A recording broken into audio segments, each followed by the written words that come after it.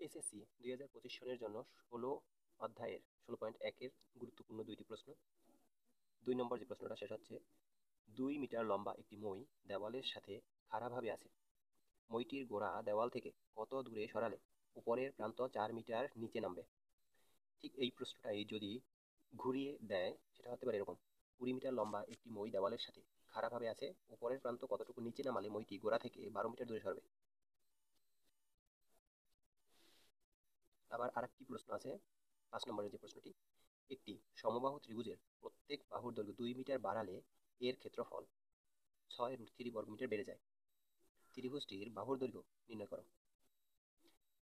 এই প্রশ্নটা যদি ঘুরিয়ে দেয়, সেটি হবে একটি সমবাহু ত্রিভুজের প্রত্যেক বাহুর দৈর্ঘ্য দুই মিটার কমালে এর ক্ষেত্রফল সিক্স রুট থ্রি বর্গমিটার কমে যায়। ত্রিভুজটির বাহুর দৈর্ঘ্য নির্ণয় করো। এছাড়া আরেকটি প্রশ্ন আসতে পারে যে প্রমাণ করো সমদ্বিবাহু ত্রিভুজের ক্ষেত্রফল b by four root four a square minus b square অনেকে ভাবতে পারে যে এটা তো একটা সূত্র, এটার আবার প্রমাণ কি? এরও প্রমাণ আছে। একটি সূত্র প্রমাণ করার জন্য অন্য আরেকটি সূত্র ব্যবহার করা লাগতে পারে, সেটি আমরা অনেক আগে থেকেই জানি। ঠিক এই সূত্রটা প্রমাণ করার জন্য ত্রিভুজের আরও একটি সূত্র আছে হাফ ইন্টু ভূমি গুণ উচ্চতা, সেই সূত্র থেকে এই সূত্রটা প্রমাণ করা যায়।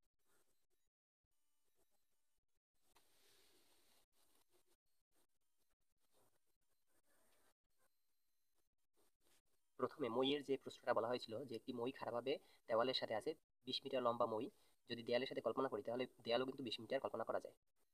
দেয়াল যতটুকু, মই ততটুকু। ঠিক আছে?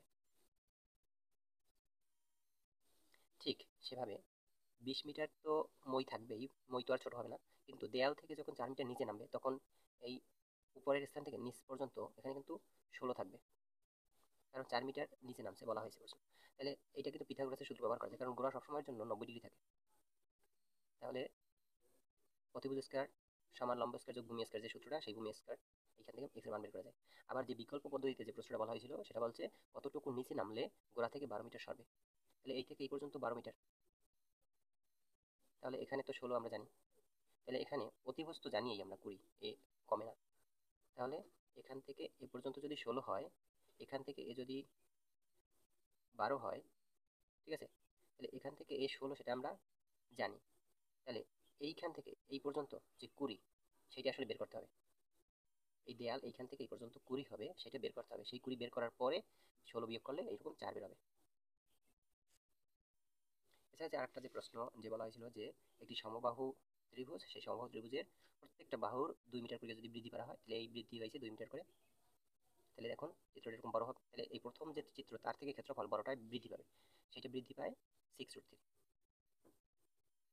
এটা বাড়বে, এটা বৃদ্ধি। এটা হ্রাস সিক্স রুট থ্রি এটা হ্রাস। তাহলে এখানে বলছে যে একটা সমবাহু ত্রিভুজ আছে, সেই সমবাহু ত্রিভুজ থেকে যদি দুই মিটার করে হ্রাস পায়, তাহলে ছোট হবে।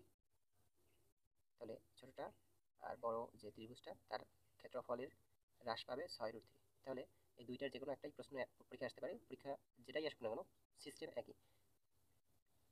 আর যে বলা হয়েছিল যে সমদ্বিবাহু ত্রিভুজের প্রমাণ, সেটা এইভাবে একটা চিত্র আঁকতে হবে। তারপর সমকোণ বানাতে হবে। এই যে এখান থেকে এই বিন্দু থেকে ভূমির বিসির উপর একটা লম্ব আঁকতে হবে। তারপর এটা একটা সমকোণ ত্রিভুজ হবে। তারপর এই ত্রিভুজের মান থেকে অথবা এই ত্রিভুজের মান থেকে যেমন একটা থেকে এ ই এর মান বের করতে হবে। এ ই এর মান বের করার পরে তারপর পর্যায়ক্রমে এটা এটা বইয়ের উদাহরণের দিকে লক্ষ্য করলেই দেখা যাবে। আর